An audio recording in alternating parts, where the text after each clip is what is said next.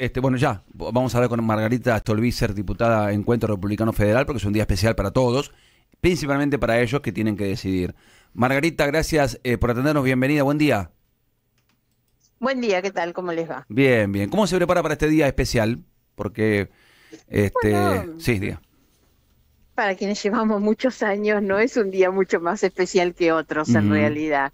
Eh, lamentablemente llegamos a esta situación, yo creo que por un decreto de veto que el intendente, el presidente, perdón, dicta en pleno ejercicio de sus atribuciones constitucionales. El problema es que esa legalidad no tapa la inmoralidad que tiene un decreto de este tipo, donde al único al que le dicen que no hay plata es al, al jubilado.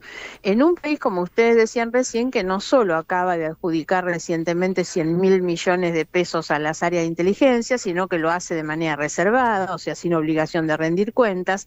Pero lo más grave han sido los beneficios que se han otorgado a los sectores más ricos con los beneficios del eh, impuesto a los bienes personales, por ejemplo, o no tocar regímenes especiales. La verdad es que venimos viendo que el equilibrio fiscal, que es un objetivo compartido, lo terminan pagando siempre los mismos. El costo no es tan grande como para que le digamos que los que pagan esto van a ser los jubilados y los maestros en general, los docentes.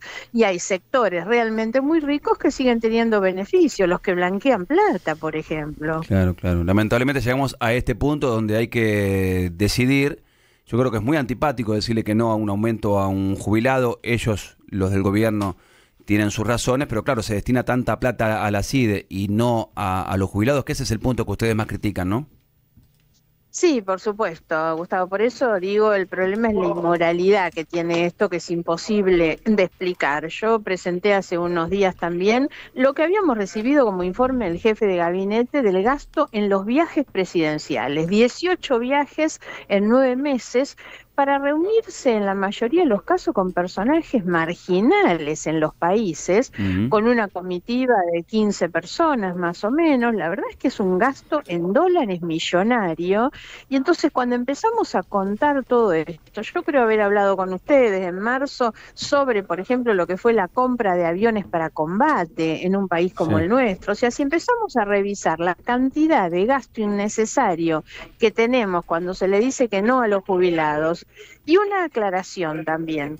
La ley de movilidad que nosotros votamos no le dio ningún aumento a los jubilados. Lo único, no hicimos ni la gran revolución en materia jubilatoria. Lo único que hicimos fue fijar la fórmula de aumento por ley, porque el Poder Ejecutivo lo había hecho a través de un decreto y la Constitución dice que debe ser por ley, y reconocerles los ocho puntos que el decreto presidencial les había negado en relación a la inflación del mes de enero.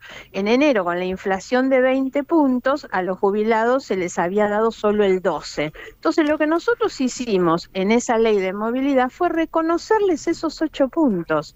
Eso tiene un costo realmente eh, eh, perfectamente financiable con muchos de los recursos que nosotros generamos, por ejemplo, en la ley del paquete de medidas fiscales reponiendo el impuesto a las ganancias.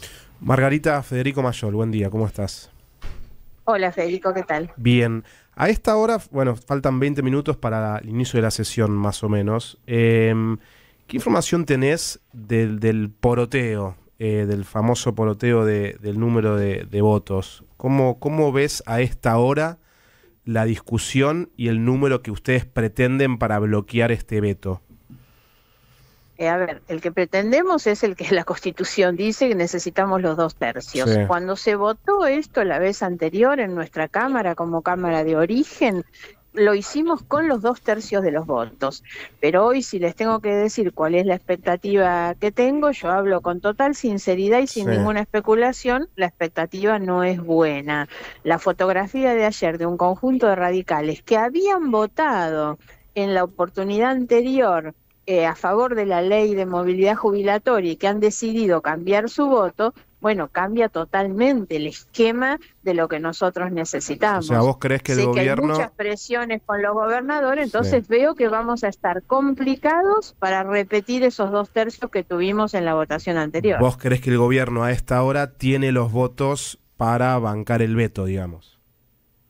Para bloquear el claro, sí, sí, para bloquear nuestra insistencia. Hoy eso es lo que lo que veo. Ojalá yo me equivoque y cuando entremos al recinto la situación sea distinta. ¿Y qué, opinas de este... momento el número que tenemos es así. Mm. ¿Y qué opinas de este grupo de diputados radicales que se reunieron con el presidente ayer y que van a cambiar su voto? Tendrán que, rendir cuentas ellos. Recién conversábamos acá. A algunos les resulta más fácil andar por la calle porque no los conocen en realidad. Y a mí me pasó la semana pasada que me interpelaron casi violentamente en la puerta porque soy una cara más conocida. Mm. Eh, esta gente es muy difícil volver a sus pueblos y tener que explicarle a la gente con el discurso del equilibrio fiscal, que insisto, nosotros compartimos absolutamente el discurso del equilibrio fiscal, pero que ese equilibrio lo tienen que pagar los jubilados y que votaron a favor de los 100 mil millones para la CIDE, por ejemplo. Ellos son los que tienen que rendir cuentas. Nosotros estamos muy tranquilos que vamos a insistir con el voto que ya tuvimos la vez anterior y bueno, cada uno debe hacerse cargo de sus actos. También hay que reconocer algo mm. eh, que es la calle, ¿no? Y la sociedad muy dividida, muy fracturada, muy polarizada, porque sigue pasando que mucha gente, aún con el esfuerzo y el dolor por pagar el ajuste en los sectores medios y más bajos, eh, sigue tolerando muchas cosas. Entonces, también tenemos que poder ver eso porque hay muchos que también se sostienen en esa, en esa situación. ¿Usted cree que fue estratégico de ir a buscar a cinco radicales menos conocidos para que puedan cambiar su voto y apoyar al gobierno? Porque a los que son más conocidos para él le cuesta más. Bueno, fueron a buscar a los que eh, podían hacerlo, a los que podían dar vuelta a su voto. Desde luego que buscaron a los que tenían menos firmeza en su convicción. Claro. ¿Le preocupa lo que puede pasar después o durante, afuera?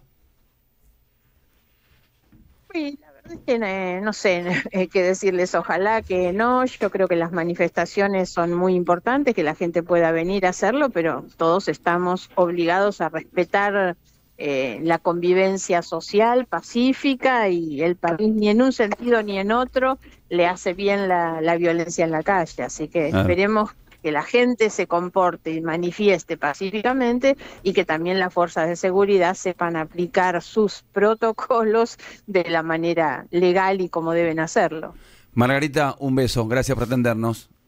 Gracias a ustedes. Hasta, luego. Margarita Stolbizer, diputada de Encuentro Republicano Federal.